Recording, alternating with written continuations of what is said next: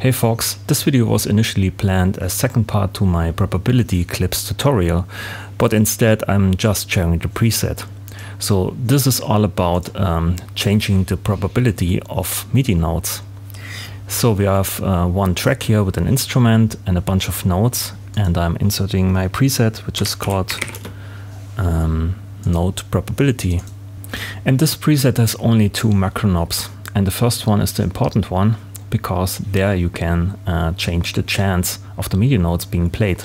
And when I'm hitting play, you can't hear anything because chance is zero. If I'm going all the way up, 100%,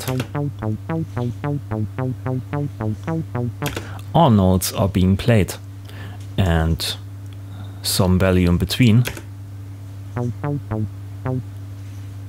some notes playing sometimes.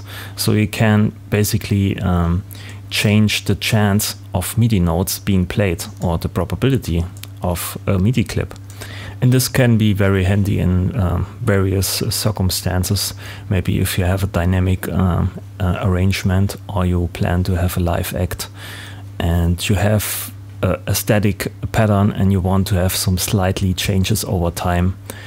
And yeah, then this becomes pretty handy, I think. So try it out, download it, it's free, and drop it into your chain, and yeah, have fun.